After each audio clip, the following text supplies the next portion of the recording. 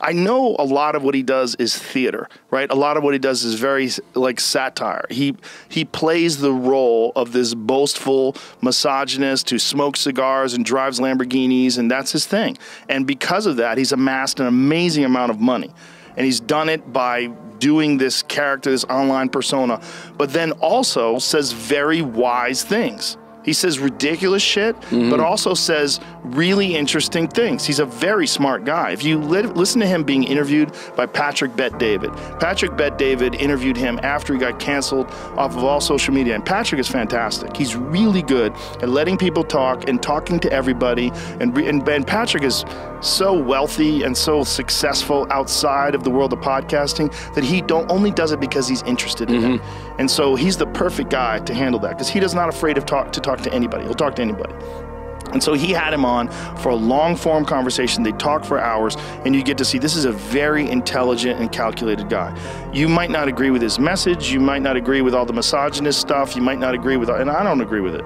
You might not agree with uh, all the, the crazy antics, but you cannot deny that that's been incredibly successful because it resonates with a lot of young men who don't feel represented in the media. And they see this guy and it looks like fun. Do they agree with what he's saying? That doesn't mean they agree with it. They think it's fun. It's like pro wrestling. He's like a bad guy in pro wrestling. He's a heel.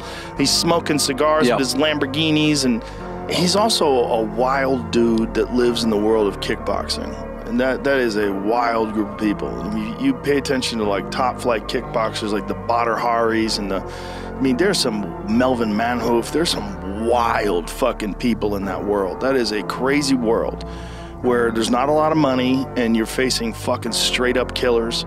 And you know, I mean, there, there's all sorts of different personalities in that world, but it's a different kind of human. They're, they're just wild, masculine, very aggressive people you know, and that's that's part of his shtick. Like when he talked to Piers Morgan, that was a very interesting conversation because Piers confronted him on all these things, and he did a great job of explaining what he does and why he does it, and and you know, it's like the guy went viral in a way that no one has. And so quickly, yeah. In a while, we're like my 12 year old and my 14 year old were asking me about it. Yeah, no, he he was it. Yeah, all over TikTok and all over everything.